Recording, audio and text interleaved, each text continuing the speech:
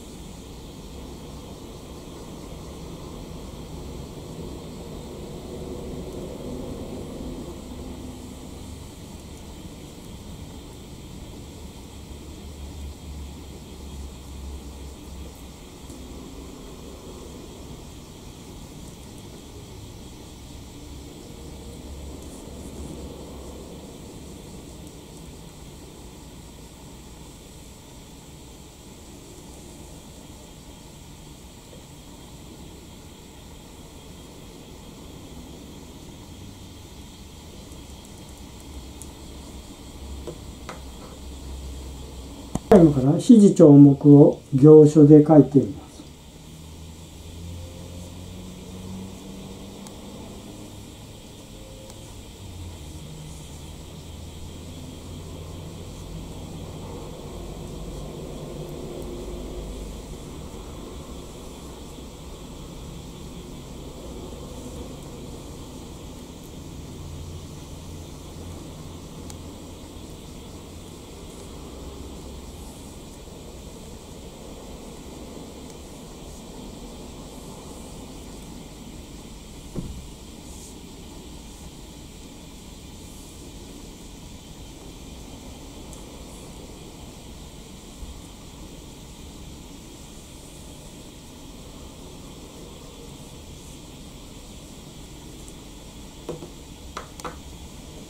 だから肘長目を草書で書いてるの。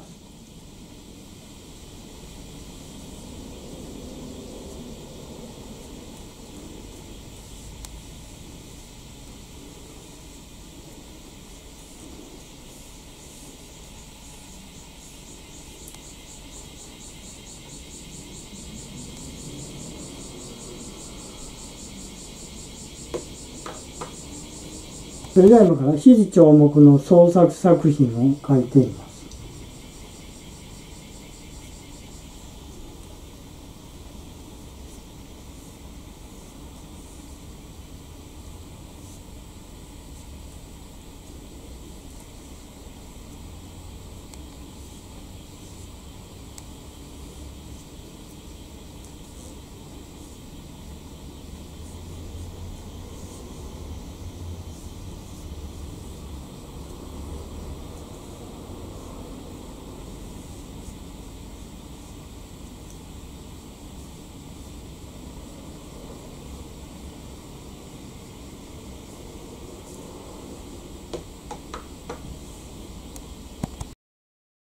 最後までご覧いただきありがとうございました。